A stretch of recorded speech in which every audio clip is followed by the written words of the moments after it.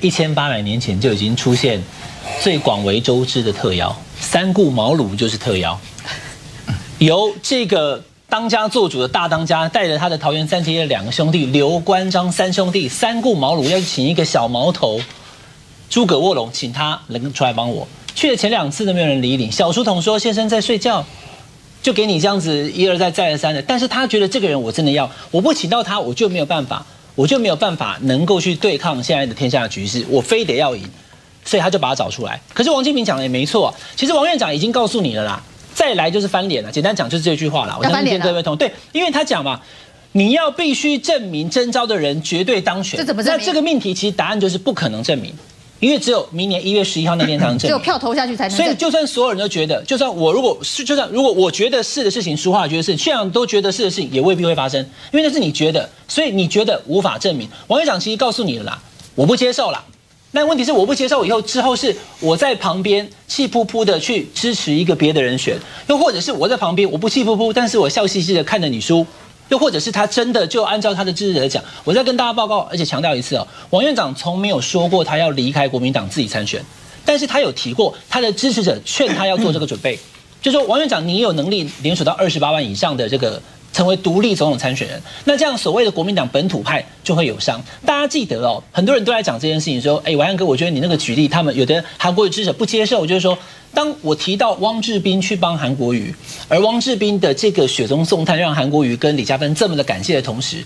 王金平毕竟去年的选举大三三造势大会也是有帮到韩国瑜，那所以一个曾经帮过他的市议员，他都这么的这么的感恩戴德了，那你今天说王金平院长，我怎么如果王院长一直这种态度，韩国瑜当然不敢松口嘛。只能够咬拖鞋嘛，更大的在后面就出不来嘛。那有人讲说，那更大出来那个人不是韩国瑜是郭台铭哦，那又是一个复杂的命题。观众朋友，四月十号非常重要，因为那天韩国瑜要去美国，而那天也正好是礼拜三，礼拜三又开中常会，所以呢，国民党要在那一天的中常会讨论总统书选办法。现在吴敦义主席是想方设法，我知道这两天有接触，可是还没排出时间，因为韩国瑜太忙了。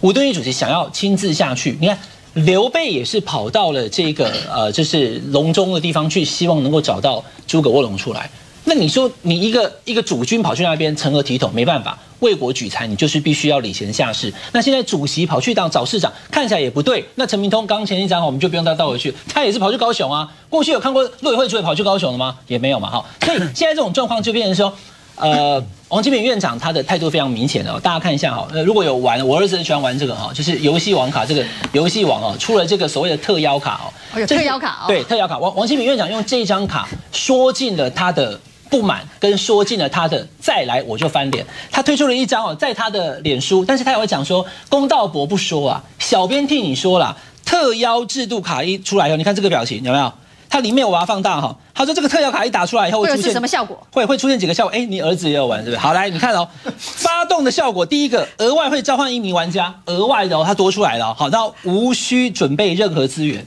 哦，你都免准备，啊，你都直接跳来，啊，大家拢跳你得死哦。一、二，发动效果是什么呢？受召唤的玩家呢，有口头发动获胜的选择权。他的意思就是说，利用攻你都赢啊，利用攻你民调相关，你都大家拢攻赢呀，证明嘞，哎，就大家这一点。谁能保证今天你提的，你不让我们王庆明跟朱立伦去走这个初选程序，要直接去特邀或者是初选征召，然后因为那个人会赢，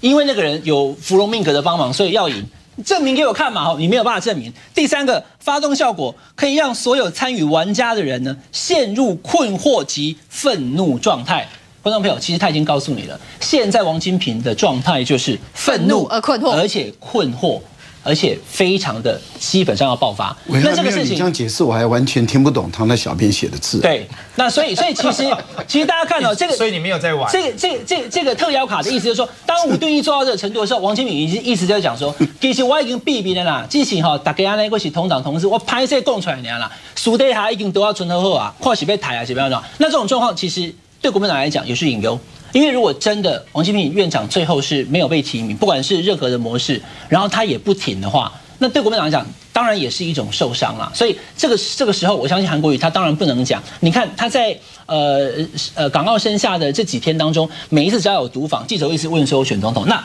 那时候他也一个标准答案。现在在拼经济，在帮高雄拼外销，这些话题都回去再谈，回去再好好谈。可是回到高雄小港机场的时候，他也是讲说，我身边都是这些哦局处首长跟这些议员，现在讲这个东西对他们不礼貌，所以他也就是一次拖过一次。对于韩国瑜来讲，还有我昨天跟大家分析的，他的那个跟大家挥手十秒钟转过身去的，他内心应该现在此刻是非常的煎熬，家里有需要再买多买几台洗衣机。不过四月十号，当吴敦义到达高雄的时候，这件事情总得要谈了吧？总不会吴敦义到了高雄去，他还跟你说不一定会有结果。我知道，你刚刚已经预告过要谈三次啦。对，就之前的特邀都是花三次的时间，所以一次不够嘛。所以四月十号是第一次的接触，后面还有很多次。